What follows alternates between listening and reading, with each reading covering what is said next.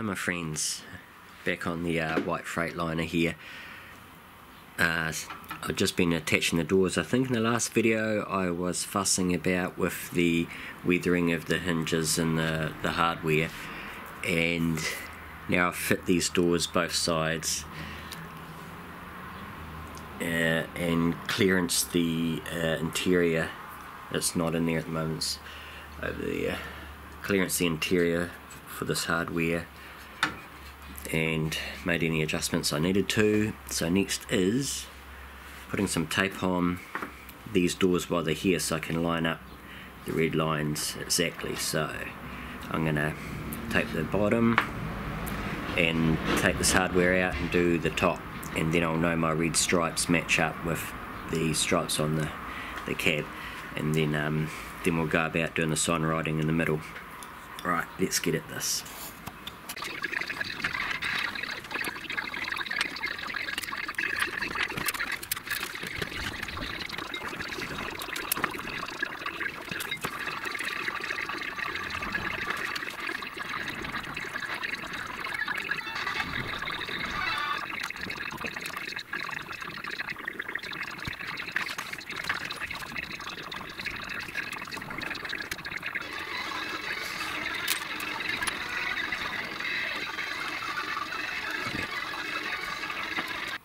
Okay guys, so you'll see I've got it masked off now to so the red stripe should match.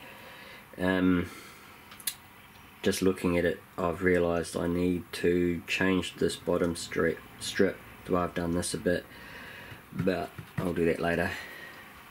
It'll, it'll become clear. But anyway, sign writing on the doors brings me to this thing here. It's called a Cricut Explorer 2 Smart Cutting Machine. I was put onto this by one of my subscribers after the videos I was doing about the um, stencil, stencils I was cutting out by hand for the um, tanker. Out of the box, hooked up to the laptop. Um, this machine looks a bit girly in that it's all soft curves and pastel colours and those sorts of things, but you know sewing machine uh, sewing room type styles but this is a stout little machine. It looks kind of like a printer but it's not. It's probably twice if not three times heavier than a printer of this size. So it's um it's all rigid in here for the the cutting head and all that sort of thing. Righto so the software is called um, the Cricut Design Space. And you know it's pretty much the add water and stir when it comes to these uh, WYSIWYG uh, editors for vector graphics and those sorts of things. So um, I'm not going to tell you how to use it because I'm still getting used to it myself and I would lead you astray. But I've got my logo I want to put in the um, in the red part of the stripe of that door. You know, that so I've got the square here, which is the actual physical dimensions of this patch here.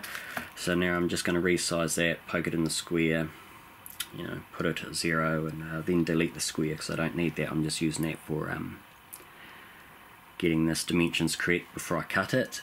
And there's another piece I need to cut to go at the bottom here with the weight. Uh, I'll do that without filming any of that. I'll just quickly get this done and when I'm about to hit go on the, the cutter, I'll get the camera going again. Righto, so I've got my design pretty much set up the way I want it and I've got the vinyl, stencil vinyl on the mat here. It's a kind of sticky mat. This one's covered in here because I dropped it on the floor as you do when you're trying not to. So you just place that in there. No. Okay. I'll put that over there. I don't want to drop it on the floor again. So, and I'm doing it all with one hand and holding the camera. So what I'll do is press the magic button there. Mm, yeah. And continue.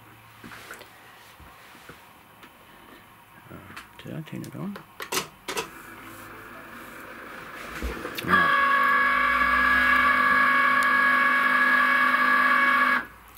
Helps if you turn it on, apparently. Should have read the manual, eh? That's what you get.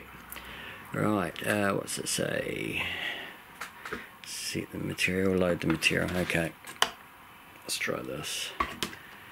Um, that there like this.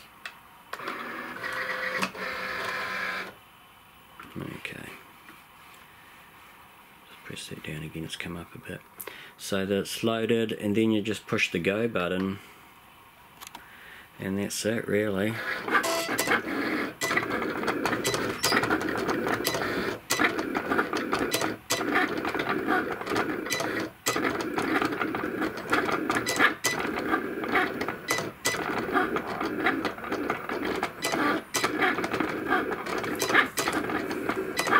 it's quite fast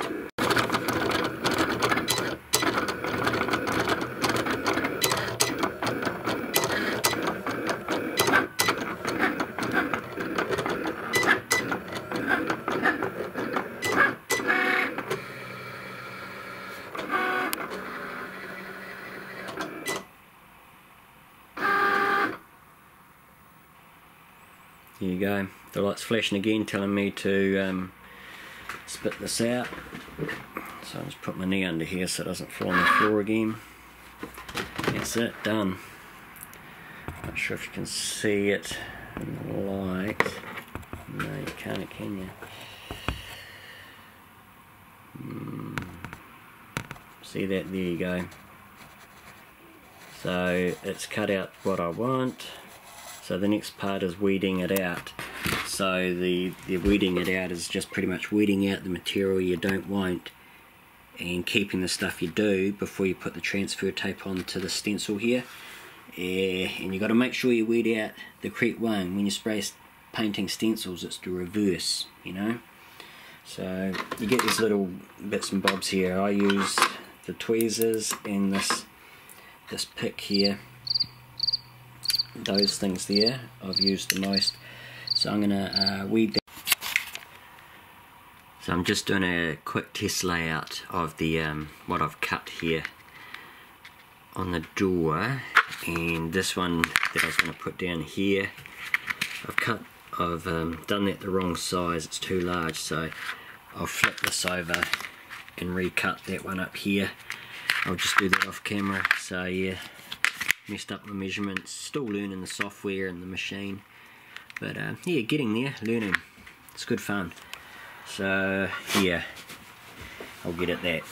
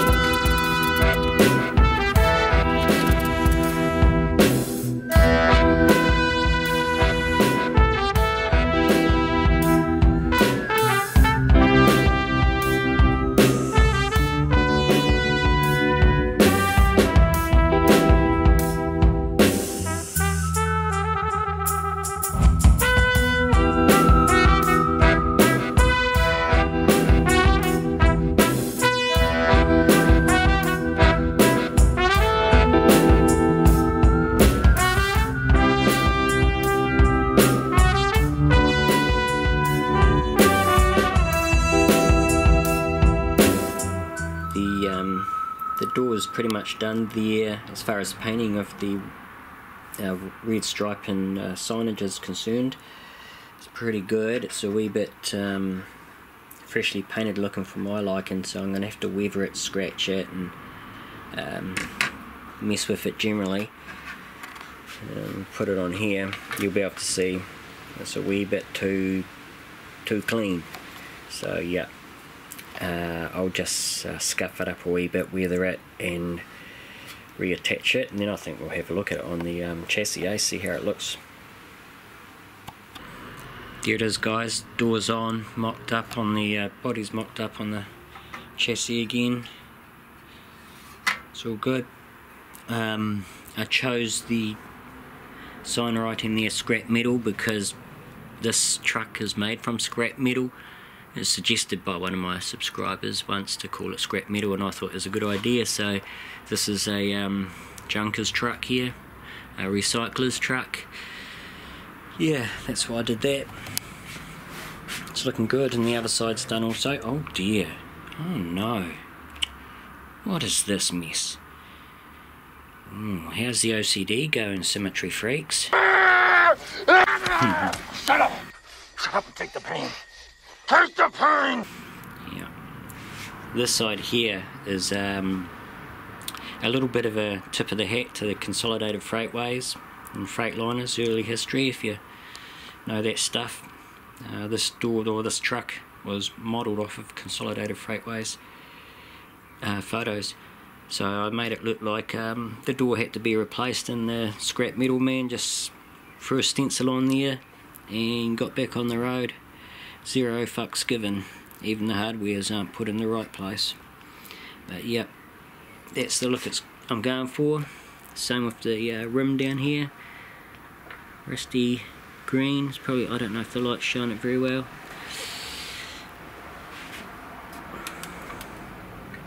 There. So um, I'll show you how I did that to a plastic rim in another video when I do these ones because they got to be weathered as well. I do need to weather the um, hardware of course and cover that up. It's to be done yet. It's work in progress.